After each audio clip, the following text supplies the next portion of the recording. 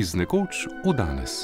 Pravljice iz zapuščine Frana Milčinskega po izboru preizpraševalke ljudskega izročila Anje Štefan in v interpretaciji članov umetniškega ansambla Ludkovnega gledališča Ljubljana. Motiv mrtvega ženina, ki ga dekle čaka in svojim žalovanjem prikliče nazaj, je mednaroden, pri slovencih pa se pojavlja tako v ljudskih pesmih kot v folklornih pripovedih. Nekatere se končajo z dekletovo smrtjo, v drugih pa se dekle reši in pusti mrtvega ženina za seboj. Motiv poznamo tudi iz prevoda Birgerjeve Lenore, ki ga je spesnil France Preširen. Fran Milčinski je zgodbo dekleta, ki z mrličem jezdi skozi noč, ubesedil v pravljici Mrtvi ženin. Pravljico nam bo nocoj interpretiral Jernej Kuntner, glasovna spremljava Zala Ana Štiglic.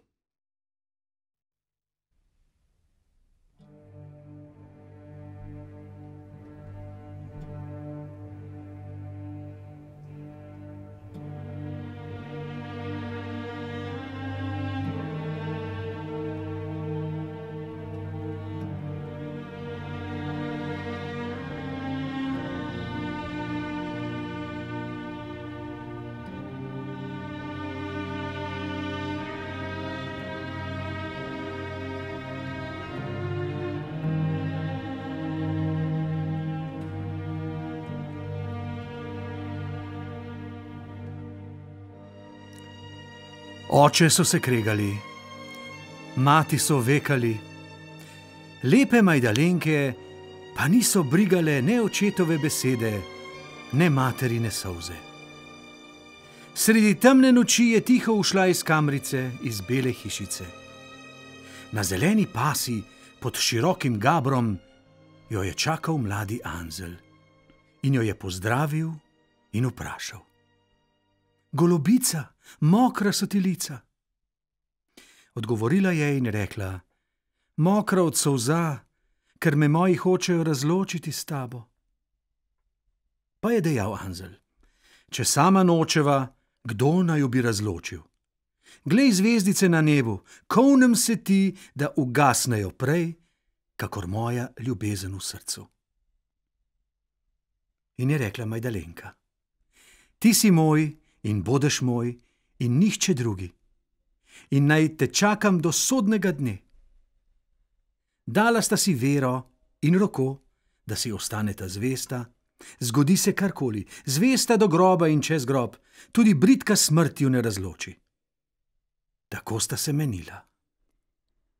Bodeš moj, ti si moj, bodeš moj, kakor moja ljubezen v srcu. In sta mislila, da ju nikdo ne čuje. Pa ju je čula zelena trata pri nogah. Zoro zjutraj so se pripasle bele ovce, pa jim je zelena trata razodela, kaj je slišala. Ovce so povedale pastirju, pastir gospodarju, gospodar ženi, žena vsej vasi, tako sta zvedela tudi oče in mati. Zdaj je oče vse noči zaklepal lepo Majdalenko v kamrico. Lepa Majdalenka si je pulila lase in je preklinjala zeleno trato, da ne bi zelenela.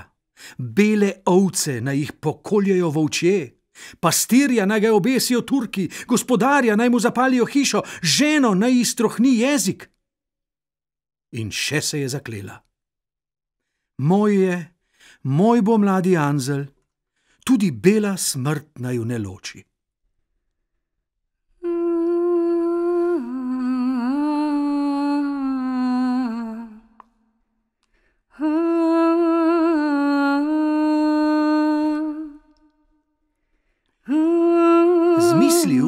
Pa je ta čas presvetli kralj in je zbral mogočno vojsko, da jo pošlje nad Turka. Oče Majdalenkin je bil župan in je ukazal biričem, biriči so pobrali tudi mladega Anzlja. Karkoj in brez slovesa je moral v vojake in odtot.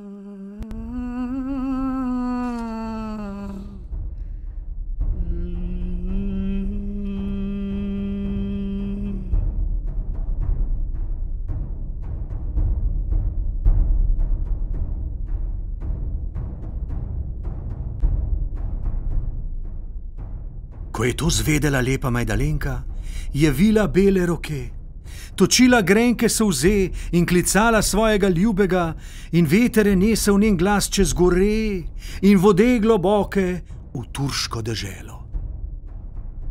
Anzlju se je zdelo, kakor da sliši glas svoje ljube, in težave so mu hodile čez srce, kakor gredo megle čez solnce, in od solza ni videl pota. Bomber bom je boben brnil in priganjal naprej. Dolgi so bili marši, trudni so bili dnevi, še hujše noči. Trda tla so mu bila blazina, smrekove veje so mu bile odeje, bleda lunica edina prijateljica, svetla sablja edina pomoč.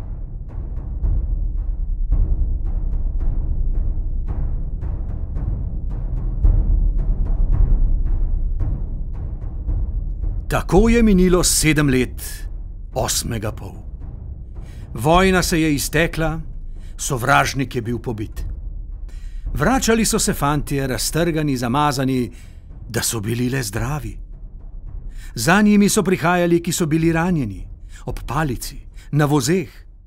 Dali so kralju nogo, roko, le to preljubo zdravje. In še je kateri prišel, da je bil v Turkih ujet in je srečno ušel.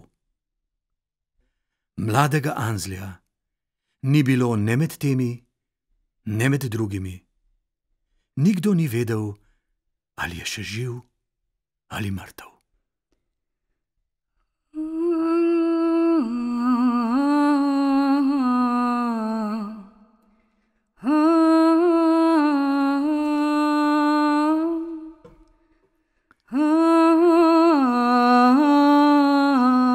Lepa Majdalenka pa ga ni pozabila.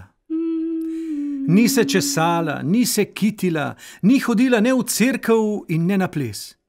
Oglašali so se snupci, pa jih je zgrdo zavračala. Le jokala se je in klicala mladega Anzlja, žalovala je in vendar še upala in je skrivaj šivala poročno balo. Prišla je zelena pomlad. Lepa Majdalenka je hodila po vrtu, nabirala je drobne rožice in delala šopek iz nemškega rožmarina in rdečega nagrlina in zraven hrepenela in govorila. Al živ si, Anzel, al mrtev, po šopek vendar boš prišel.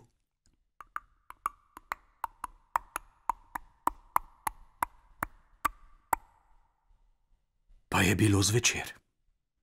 Ura je udarila enajst.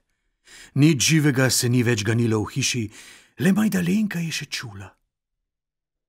Kar potrklja na okno. Majdalenka hitro k oknu, kaj je, kdo je? Glej pod oknom Anzla na belem konju. Majdalenka bi zavrisnila, ko bi ji dala sapa. S tresočo roko je odpirala, z drugo bi že objemala. Anzel pa mrk in bledi je rekel in priganjal: Le hitro zberi svoje reči, prišel je čas, dolga bo pot. Lepa Majdalenka ni nič vpraševala, nič se branila. Urno je zbrala, ročno povezala bele srajčke, židane rutice, vso svojo poročno balico, nagnila se je skozi okno, mladi Anzel jo je prijel za belo roko in jo posadil k sebi na konja. Mesec je svetil, kakor beli dan. Spustila sta se v dir, iskrile so se potkve, meglica se je delala od konske sape, pot je izpred nju bežala nazaj.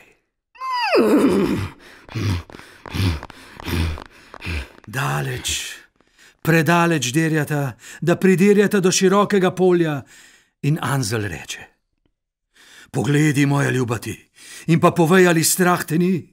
Luna in zvezde svetijo, mrliči hitro jezdijo. Lepa Majdalenka je odgovorila: Kaj bo me strah, kaj bo me strah, saj si pri meni, Anzel mlad. Luna in zvezde svetijo, da nama kraj čas delajo, mrtvi pa spe, Bog jim daj mir. Zazeblo jo je. Ali je obleka prelahka, ali je veter prehud. Privila se je k mlademu Anzlju in še ga je vprašala: Povej mi, verni ženin moj, kako je to, zakaj je to? Po prsti črni dišiš močno. In Anzel je odgovoril: Moja tesna izba diši tako, kmalo naj še tvoja bo. Še brže je segal kon, izpred nju nazaj je drvelo polje, in gost, in voda, in breg, in mladi Anzel je rekel: Poglej, ljuba ti, in pa povej, ali strah te ni, luna in zvezde svetijo, mrliči hitro jezdijo. Lepa Majdalenka je odgovorila. Kaj bo me strah? Kaj bo me strah, saj si pri meni, Anzel mlad? Luna in zvezde svetijo, da nama kraj čas delajo, mrtvi pa spe, Bog jim daj mir.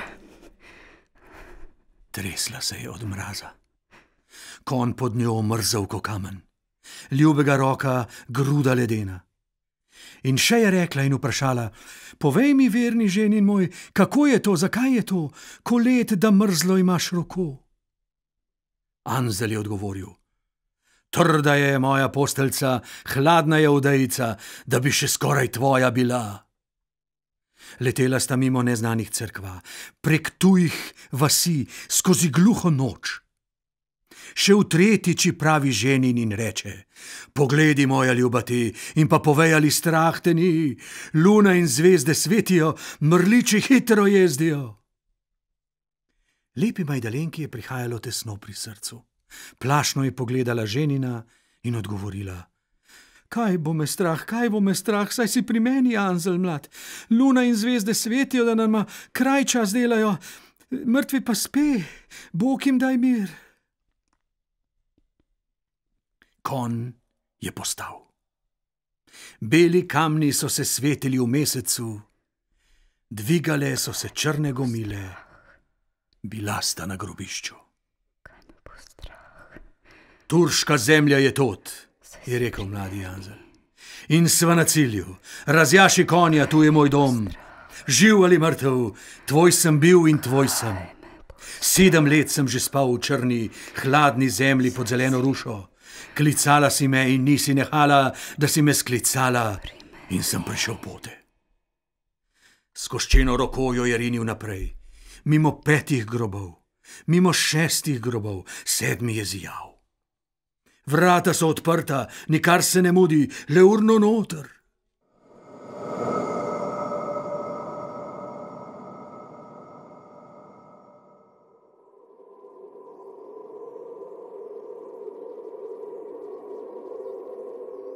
Smrtna sraga je oblila lepo Majdalenko, strah in groza jo je bilo mrliča, ko prnela je, kako bi se ga rešila.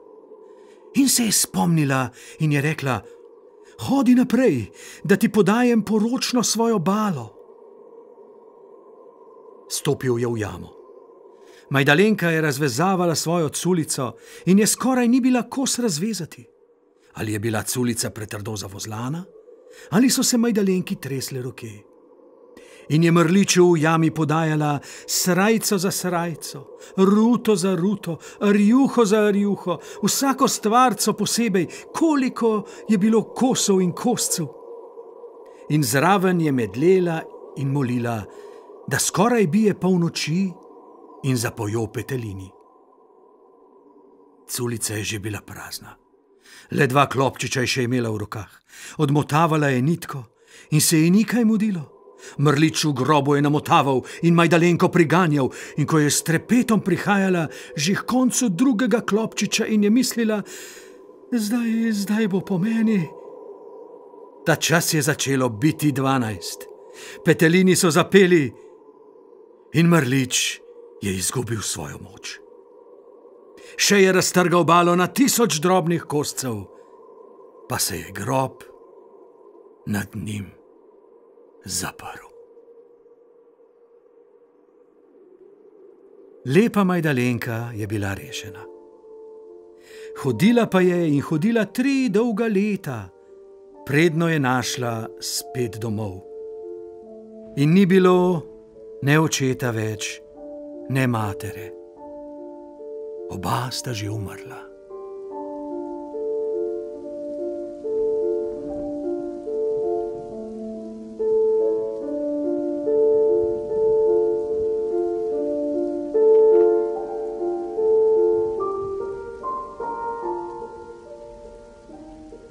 To je bila pravljica Frana Milčinskega Mrtvi ženin. Pravljico je interpretiral Jrnej Kuntner, glasovna spremljava Zala Ana Štiglic, glasbena oprema Tina Ogrin, zvočno oblikovanje Damjana Rostan, video Jrnej Pogačnik, ilustracije Gvido Birole in Maksim Gaspari, dramaturška zasnova izvedbe Aida Ros, režija Saška Rakev. Izbor pravljic nastaja v sodelovanju Anje Štefan in Ajde Ros, umetniške vodje Ludkovnega gledališča Ljubljana. Program iz nekoč v danes nastaja v koprodukciji RTV Slovenija, program Ars in Ludkovnega gledališča Ljubljana.